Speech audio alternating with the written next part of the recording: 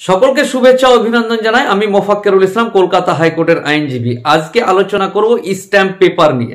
নন judicial stamp এবং judicial stamp paper যে কোনো আইনি ট্রানজাকশন বা লিগাল ট্রানজাকশনের জন্য স্ট্যাম্প পেপার ব্যবহৃত করা হয়। স্ট্যাম্প পেপার দু ধরনের হয়, একটা হচ্ছে জুডিশিয়াল স্ট্যাম্প পেপার একটা হচ্ছে non judicial stamp paper judicial stamp paper যেটা সাধারণত কোর্টে বিভিন্ন রকম আদালত বা কোর্টে ব্যবহৃত হয়, আইনি বা বিভিন্ন রকম কেসের জন্য যে নির্ধারিত যে ফিস থাকে, সেটা কোর্ট ফিসের মাধ্যমে জুডিশিয়াল স্ট্যাম্প পেপারের মাধ্যমে সাবমিট করতে হয়। তাহলেই মামলা বা মোকদ্দমা রেজিস্টার হয় কোর্টের কাছে।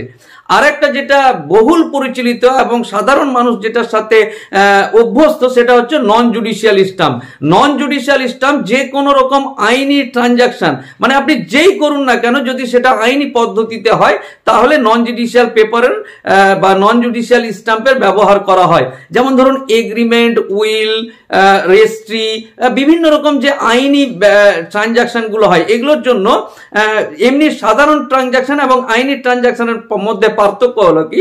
যে আমি এমনি কোনো একটা ট্রানজাকশন করলাম, সেই ট্রানজাকশনে কিন্তু কোনো রকম গভর্নমেন্ট ফিস নেয় না বলে পরবর্তীতে এটা আইনি বাধ্যতা বা আইনি বৈধতা নিয়ে বিভিন্ন রকম প্রশ্ন জাগে। কিন্তু যদি নন নন জুডিশিয়াল স্ট্যাম্পের উপর সরকারের রেভিনিউ দিয়ে নন জুডিশিয়াল স্ট্যাম্পটা হচ্ছে সরকারের একটা রেভিনিউ কালেক্ট করার পদ্ধতি।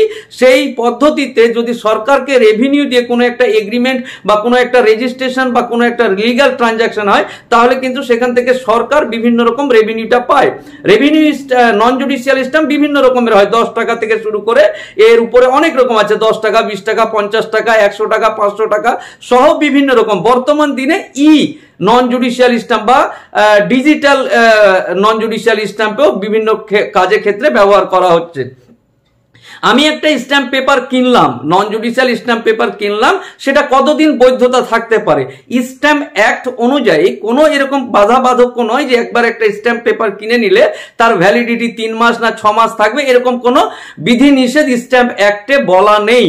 কোনো একটা ক্ষেত্রে ধরুন একটা সম্পত্তি কেনার জন্য আপনি এক লক্ষ টাকা নন জুডিশিয়াল স্ট্যাম্প পেপার কিনেছেন। পরবর্তীতে ওই জমির যে মালিক সে কোনো কারণে সেই জমিটা বিক্রি করল না।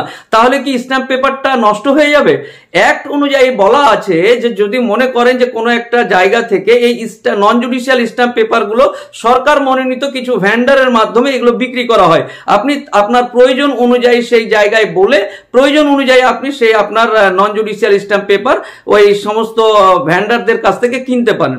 তো আমি কিনলাম, কিন্তু ছ মাস পরে সেই জমিটা কোনো কারণে কেনা বেচার ক্ষেত্রে কোনো অসুবিধা হলো এবং বিক্রি হলো না বা কেনা হলো না।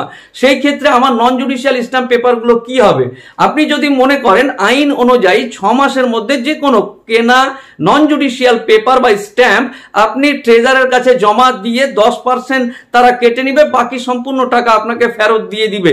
এটা আইন আছে। যদি আপনি তাও না করেন, ছ মাসের মধ্যে যদি আপনি সেটাকে ফেরত না দেন, তাহলে আপনি যে স্ট্যাম্প পেপারটা কিনেছেন, সেটা যত টাকা দামেরই হোক না কেন, আপনি যে কোনো দিন, যে কোনো প্রয়োজনে সেই স্ট্যাম্প পেপার ব্যবহার করতে পারেন। এর কোনো নির্দিষ্ট সীমারেখা নেই যে তিন মাস, ছ মাস।